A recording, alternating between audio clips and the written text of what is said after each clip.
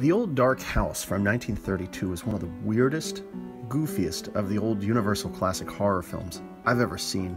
It's really hard to categorize this one because it wasn't necessarily a monster, and it's not even really a haunted house, but you know what? I'll do my best with this. So the film opens up. It's a dark and stormy night. We have Philip Waverton, who's played by Raymond Massey, and I saw him recently in the movie The Santa Fe Trail, playing the wild John Brown, of all people. Great performance. And he's married to Margaret, who's played by Gloria Stuart, who, very interesting to me, was Old Rose in the movie Titanic. So interesting. Here she's about 20 something years old. They're driving through the rain, they're kind of quarreling together. And Melvyn Douglas plays Penderel, a guy who's just along with them for the ride for some reason, and he's sitting in the back seat making humorous little remarks. I don't think I've seen him in anything just yet, but you know, give it time. I'm sure I will see him again in one of these old films. Well, they're having a hard time with their driving, with the road being washed away and whatnot, so they find an old dark house. They knock, and Boris Karloff answers the door, and he's in his full on freaky attire. His character, Morgan, is this massive, bearded man. You know, most crazy people are bearded. And he's covered with scars and mumbling. He lets him in, and they're soon greeted by Horace Femm, played by Ernest Thesiger, none other than Dr. Pretorius himself, you know, from Bride of Frankenstein. So, right there, this film hit awesome levels for me. well, the interior of the house is huge, it's creepy, and the detail is incredible. I love it. Horace introduces his sister, Rebecca Femm. She's played by Eva Moore, and she's a little deaf and also a little crazy. And she comes scurrying down to meet the visitors, and we learn that Horace has something of this mad scientist vibe to him, while Rebecca is just this weirdly puritanical woman. They have dinner, and there's this crazy banter between the two of them as she tells him off for being blasphemous for forgetting to say grace. You know, this is followed by Horace casually offering to have a potato. I love it. This house is crazy, and as weird as it sounds, the dinner scene is very carefully detailed, and everyone seems to be enjoying the meal, especially old Rebecca, who's really digging those pickled onions. And honestly, the roast beef, the bread, the potatoes, it all looks so delicious. And it's weird. I'm watching this scene and I was expecting, you know, maybe something more ominous like a dark revelation or something, but no, they just all sit there and enjoy their meal. so dinner is interrupted by a knock at the door, and another young couple arrives, and soon we'll join them for dinner. And it's Sir William Porterhouse. I love the names here. Played by Charles Laughton. You know, this is Mr. Christian from the Mutiny on the Bounty film. And he's with Gladys, played by Lilian Bond, and they join in for dinner. And after the meal, they all have a nice smoke by the fireplace because, you know, that's what you did back then. And there's some, you know, lively conversation as they get to know each other. However, we do get word that Morgan has been drinking, and there's a little fear that he does tend to get crazy when drunk.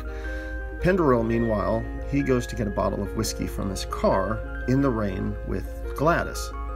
Horace and Philip, meanwhile, they head upstairs to get another lamp, but Horace kind of freaks out, I guess, of his own upstairs and leaves, and Philip has to do this alone. Meanwhile, Margaret is doing shadow puppets on the wall. It's kind of a cute scene when Rebecca spooks her and she runs off and soon has an encounter with the drunken Morgan who pursues her. And you know, this is pre code era, folks, so not sure what's going to happen, but thankfully, Philip confronts him and they get into a fight. But come on, this is little Philip, and he's fighting Morgan, Boris Karloff here. Come on, punches are useless against him. But a lamp to the head does the trick, and Morgan tumbles down the stairs. You know, meanwhile, this film, which is all over the place, takes us back and shows Penderel and Gladys. They're getting cozy in this car, and they're talking romantically. And apparently, they've instantly fallen in love. Meanwhile, Philip and Margaret discover a very old man locked away in a room. And I'm pretty sure, actually, in this was a woman wearing a beard with with makeup, and it's very uncomfortable looking makeup too. It's like something the mummy would have worn. And you know, sure enough, in researching this film, the bearded guy was indeed played by a woman, Elspeth Dudgeon. Really cool name. And he tells them her story about this character, Saul, who is yet another character in this crazy old house. And he's locked up in a mysterious room. They can't let him out. And the guests all confer together about the weird happenings going on. And sure enough, Morgan went and let Saul out of his room. So they wrestle Morgan down and they lock him up. But finally, we meet Saul, and well, he's just this little bearded guy who initially isn't very frightening at all. But soon he starts talking to Penderel alone, and gradually we get the vibe that, yeah, he's pretty crazy. He talks about how he studies flames and he wants to throw a knife, just like Saul from the Bible threw a knife at David. And after he actually does so and almost kills Penderel, he starts laughing maniacally and attempts to burn the house down. well, he and Penderel get into a big fight, and well, you know, I, I don't even know where to go with the summary of this film. I'll let you just catch the conclusion. Will our cast of heroes manage to escape? Will the drunken Morgan break free and cause more trouble? Can Penderel stop the pyromaniac tendencies of Crazy Saul? Well, you got to watch this one to find out for yourself. So, some quick closing thoughts. You know, one of the interesting bits of trivia about this was it was directed by James Whale, who was famed for directing three of the most epic of the Universal monster films Frankenstein, Bride of Frankenstein, and The Invisible Man. But I'm really not sure where this film falls in. Because, like I mentioned before, it's not really a haunted house, there isn't really a monster.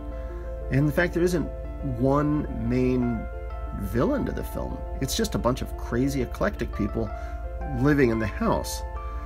And they just get crazier as you meet them. But there's really no mad scientist or anything like that. It's just a, a, a nutty house.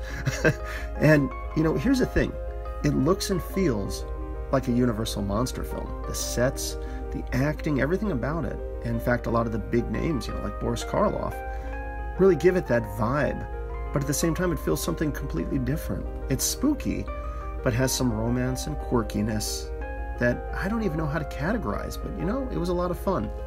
Something interesting I read from the Turner Classics movie site is that when director James Cameron was watching an old copy of this film and listening to the audio commentary with Gloria Stuart, he was so impressed by her that he cast her in the movie Titanic in 1997. You know, I think she was around 22 in this film, so that would have put her in her 80s for Titanic. And man, isn't it weird to consider the Titanic is now 25 years old as well? Oh, where did the time go? Now, anyhow, that's the old Dark House from 1932. It is a wild universal horror film, but I really enjoyed it, and it's worth checking out. Another thought is I love seeing Boris Karloff in these films, and even though he doesn't have a huge role here, his part of the film is still creepy and awesome. And it's interesting how his appearance here as this big, bearded, creepy guy, it actually reminded me of an old Charles Addams cartoon where a vacuum cleaner salesman comes to visit the house. I don't know, that's just the first thing it reminded me of.